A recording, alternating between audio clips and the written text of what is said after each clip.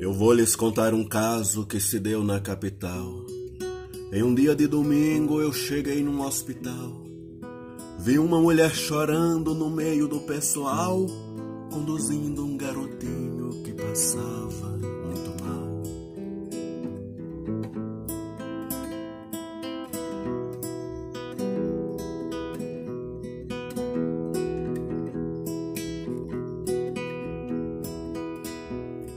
Mandaram chamar o médico que estava de plantão, mas ele, muito abusado, nem sequer deu atenção, namorando uma enfermeira em outra repartição.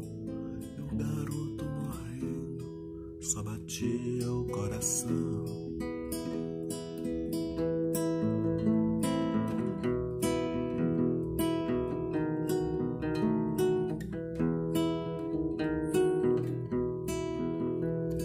Passou-se mais de uma hora e o doutor não atendeu.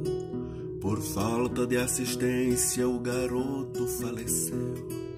A mulher chorando disse: Doutor, o menino é seu. Ele vendo o filho morto, nesta hora enlouqueceu. A falta de assistência nos hospitais continua.